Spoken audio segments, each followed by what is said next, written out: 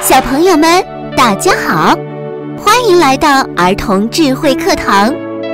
现在要给大家讲的是智商故事。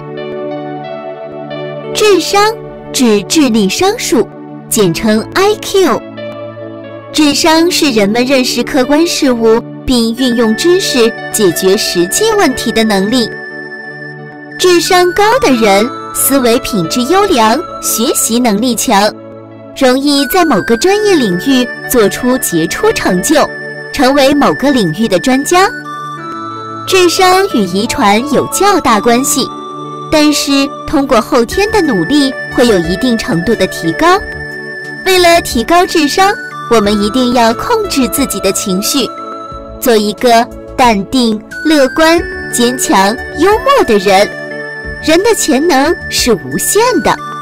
我们只有不断的学习，才能最大限度的开发潜能，获得成功。好了，小朋友，听小故事，长大智慧。我们的精彩故事马上就要开始了。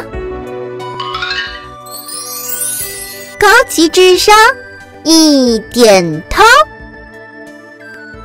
遇到问题的时候，要多用联想的方式。有一种事物联想到与之相关的另一种事物，几条线索聚在一起，就有可能解决了难题。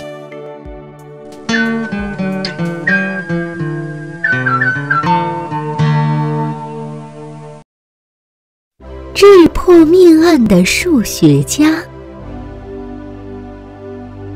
十九世纪，法国有一个数学家。叫格洛阿。有一天，他去找老朋友鲁伯借宿。女看门人告诉他，两周前鲁伯在房间里被人杀死了，家里的巨款也被洗劫一空。由于没有可靠的线索，直到现在还没有抓到凶手。格洛阿十分悲痛，同时他暗下决心，一定要找到线索，查出凶手，给老朋友报仇。他想了好久，决定从公寓女看门人那里了解情况，寻找线索。女看门人告诉葛洛阿。警察在勘察现场的时候，现场已被凶手破坏。只看到鲁伯手里紧握着半块苹果馅饼。他还很肯定地说：“凶手一定就在这座公寓中，因为在案发前后的时间里，他从未离开过值班室，没有看到有人进出公寓。”格洛阿陷入了沉思，一言不发。过了半个时辰，他突然问女看门人：“三幺四房间有人住吗？他是什么人？”女看门人翻了一下记录，说：“三幺四房间住的是米塞尔，他是个赌徒，还爱喝酒。不过……”他昨天下午已经退房搬走了。格洛阿十分肯定地对女看门人说：“赶快报警，凶手一定是米塞尔。”女看门人看格洛阿十分肯定，不像是开玩笑的样子，就找来了警察。警察让格洛阿讲一讲。米歇尔是凶手的证据。格洛恩说：“鲁伯遇到了险情，他肯定会反抗。他临死前手里没拿武器，却紧握半块馅饼，显然是通过这馅饼来告诉人们线索。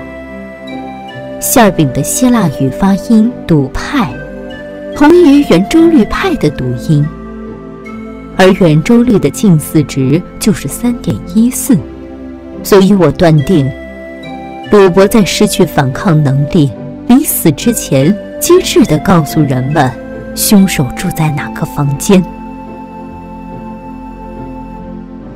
警察听了，觉得很有道理，又问清了三幺四房间米 C 二的情况，更加认可了格洛厄的判断，于是。全程搜捕米歇尔，只用了一天的时间，米塞尔就被捉拿归案了。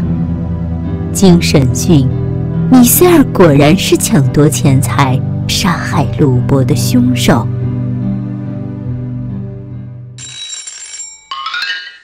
智商提升课：